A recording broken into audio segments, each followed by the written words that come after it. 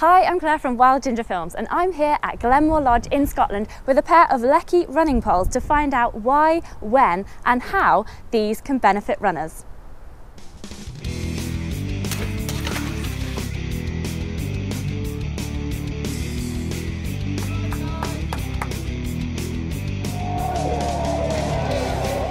This film is powered by Leki Poles. Their running poles, the Micro Trail Vario and the Micro Trail Pro, are on sale now, and the links are in the film description below.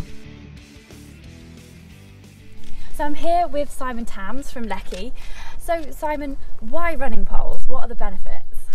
Um, there's a, a, reason why 90% uh, of the field in Europe use uh, use running poles.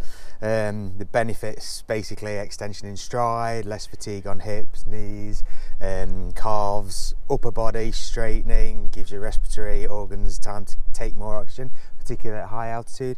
But just general, um, general forward motion, ease of forward motion and being far more efficient over a greater distance, whether you're covering a, a 10, 15k or whether you're up to marathon or ultra distance in the mountains or, or on a rolling terrain. Brilliant. So you've mentioned ultras mm-hmm. already mm -hmm. there. Um, when are they going to come in handy, these running poles? Uh, pretty much from the word go. I mean, usually you'll find for, for, for, for me, myself, running ultras, um, I'll have them deployed pretty much straight away um, and I'll, I'll literally go with them, uh, particularly if uh, you, you, do your, research on the course. If it's a, um, a, a, hilly course in the, in the short period of time from the start, I'll use them just to walk or run slowly, just to conserve my energy for the you know 20, 30, 40 miles uh, ahead of me. Um, but for me personally, I'll have them deployed all the time. Some people won't deploy them till the middle halfway um, or towards the back end of of the race. And some people will have them start, they'll do a period without. It's all about doing the homework on the terrain, really. But but for the most part, it's very much down to the end user and what they perceive will be the most efficient part of the race to happen for them. And how can they help you on hmm. things like uphills and downhills um, obviously, the uphill it, it, it, it's an assist. It's almost like having a personal handrail. Um, you know, if you, if you double pole plant, you can put the poles in front of you and run maybe four to six steps with minimal effort. Um, you pace against somebody who's not using poles, and there'll be a definite distance stroke fatigue um, comparison there. On descents, they can do one of two things. They can actually use behind you to propel yourself and make your descent faster. Particularly on loose scree type of terrain, it's definitely a third point of contact. So if you do slip you can push yourself back up again and also again just if you are using them forward just as a, an extra aid again that extra point of contact just as a confidence as you're bouncing away so definite actions for uphill and downhill Fantastic, and I've heard they're also quite useful for stability, like maybe crossing rivers and things like that. yeah, yeah, particularly where we are now in the lovely Cairngorm. Um, you know we've just been on a couple of runs already and the rivers are very swollen um, and again it's quite nice to, to, to, have a bit of a dip where you're going rather than one of those nasty surprises where you end up up to your waist in uh, something that you thought was going to be ankle deep. So yeah definitely as, as, as an 80 river crossing yeah perfect Brilliant. So we've got a couple of different poles mm. here, haven't we? Do you yeah. want to tell us a bit about what I've got and what you've got in comparison? Yeah, we'll start off with these guys first. Um, we have here the uh, Micro Trail Pro, so a full carbon pole. Um, obviously that's it is extended, um, easy to collapse and stick in a race vest so you can uh, get it to it actively to deploy it. We have um, a trigger system, trigger S system here. Now the trigger system is a gauntlet which fits on your hand like so. Allows you to become part with the pole so you would actually use the gauntlet and the forearm and your top parts of your body to propel you rather than having to, to grab and push with the pole. So again it's helping your, your forward progress with minimal effort. Easy to get in and out of with a little click so if you come into any obstacle, you can pop yourself out. Or if you are doing any downhill where it's quite technical, but not technical enough to use poles, you don't really want to be falling with these things attached to you. So you can just take them off and give it a go. Extended handle here, again, if you want to use them as pole planting for uphill, you can, minus the glove, minus the gauntlet. Click straight back in and you're good to go. The ones you've got there, Claire, they're um, a similar similar product, but they're actually adjustable.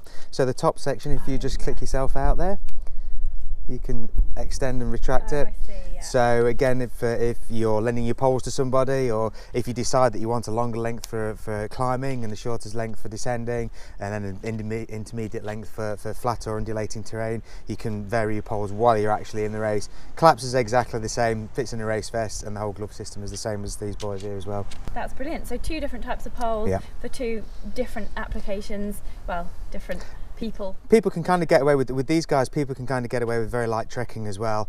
Um, so if they wanted to, you know, invest in a pair of poles and they're trekkers as well as uh, as, as, ultra runners or, or runners, then the one pole will do do the job for them. Okay, so now we just need to find out how to use them. Yeah, off, off we, go. we go. After you.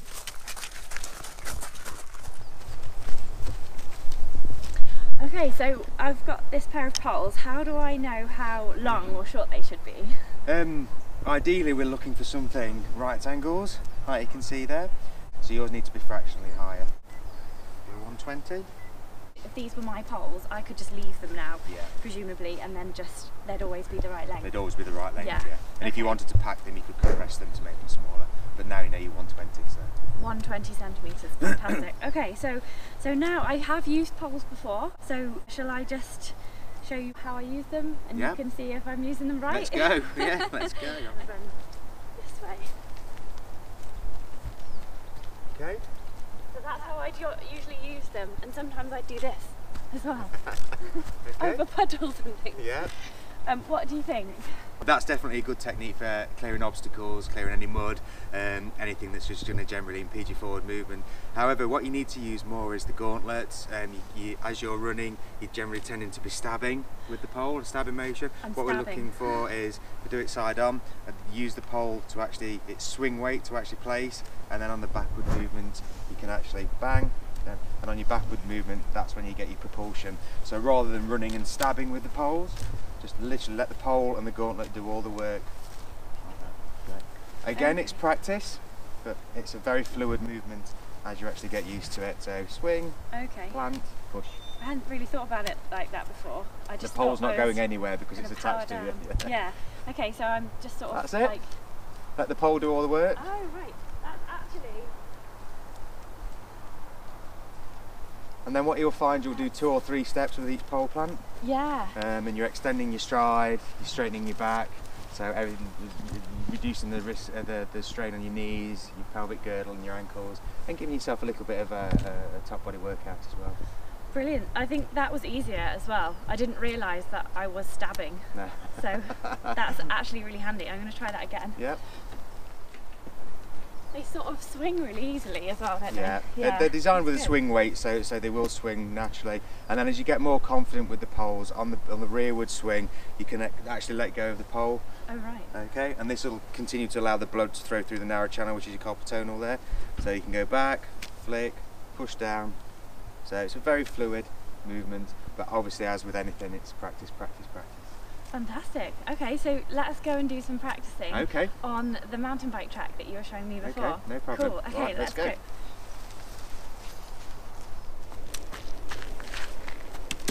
Right, so we've got a bit of a step here, and there's a certain technique to using poles on a step, isn't there, Simon? Um, uh, yes and no. I mean, this is a, this is a small little um, obstacle, but obviously it becomes very big if you're out running all day, been running for four or five hours, or you're in an event. Um, this little seven or eight inch block will feel like a massive step. So um, this is where your poles really come into into into use here. So people will either have a preference of placing the poles uh, behind the obstacle or in front of the obstacle.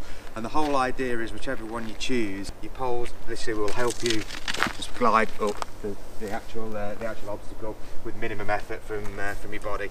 So uh, I'm running and oh it went before the block. You did just actually float over that obstacle rather than having to physically step and push with um, one or both knees. It also lim it limits the amount of shot you're getting on the landing on the opposite side as well. So all in all, that little dynamic effort there, majority of it is taken up with the poles. So therefore, hopefully you can run faster, further, longer. Perfect. Well, it felt really fun actually doing that as Excellent. well. I just Good. felt like I was kind of skipping over it.